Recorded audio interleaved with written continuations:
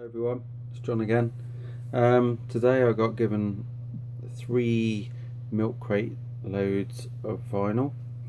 I was going through it. There's a lot of stuff I don't, not really into, um, but I was quite pleased with um, a few of my finds. Um, one band I'm going to do first.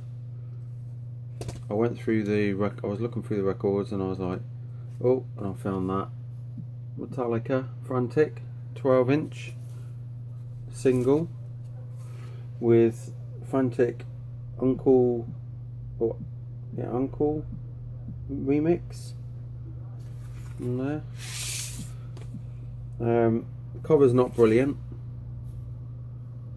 but it, you know it's for free, and the record's pretty clean. A few light marks on it, but um, I'm sure it will play okay some very a couple of very fine scratches in it but nothing that's going to stop it from playing. But yeah there's Frantic 12 inch. And the other thing I didn't even notice it first of all um,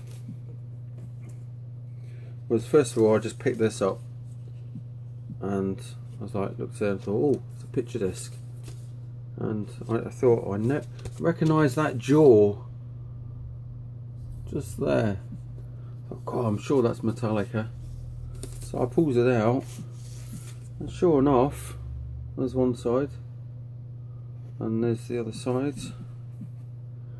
and it is the unnamed feeling 12 inch picture disc. Obviously, that's the single. Um, so you got the A side. The Unnamed Feeling, and the other side is Leper Messiah Live.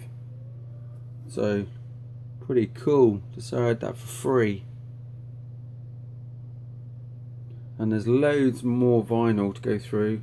Um, a lot of it is stuff that I'm not really into, like DJ, uh, hip hop, and um, what's that other crap music? Rap. That's it. Should be called crap, but it's rap. Um, yeah, there's a lot of that. Um, but there was a, some metal bands and uh, indie stuff, and um, I've got a load of it on the floor here ready. Some quite a few picture discs as well, and some seven-inch picture discs. So I'm going to do some videos on a whole bunch of them first, uh, just to show you what I got. But I thought I'd do the Metallica things, just get them out of the way because they are something that I keep.